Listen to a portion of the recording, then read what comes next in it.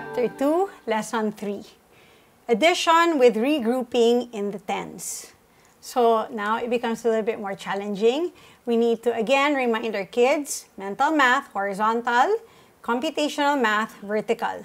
We need to remind them the pairings, 1 and 9, 2 and 8, 3 and 7, 4 and 6, 5 and 5. Okay, so page 37 is where our lesson will be from.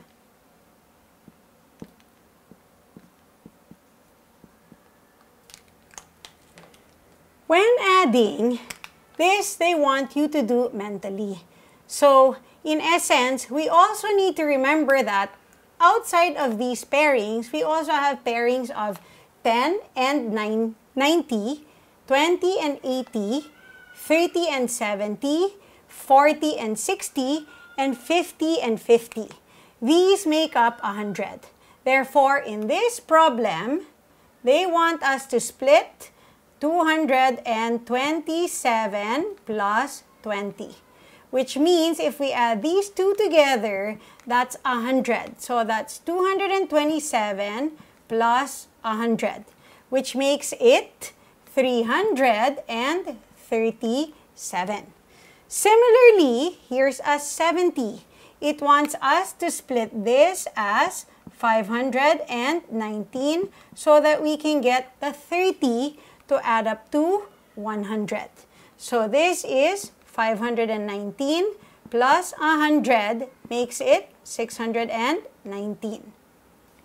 Now, this is our mental math computation, which means when we get to the computational math, this is 463 plus 186. So the lesson says regrouping in the tens. Therefore, you shouldn't regroup in the ones. So this is simple addition. 6 plus 3 is 9. Okay, I'm going to take it here. This is 6 plus 8. So again, for consistency, we want to start with a 8. We need two more to get to 10. So that means we have an extra 4, which makes this 14. And we carry. Okay, so that's 4 plus 4. 4 plus 1 is 5 plus 1 is 6. And finally, 772 added with 142. The bigger one is on top, 772 plus 142. So which means the ones is no regrouping. We take this is 7 plus 4. So we start with a 7, regrouped, meaning we add the 7, we need a 3, we have an extra 1, which makes it 11. So that would be 11. Starting with a bigger number, we add 8 plus 1 is 9, which makes it 914.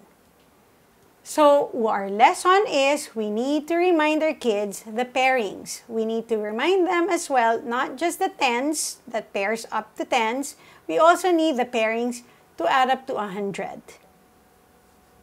That concludes Chapter 2, Lesson 3. See you in the next lesson.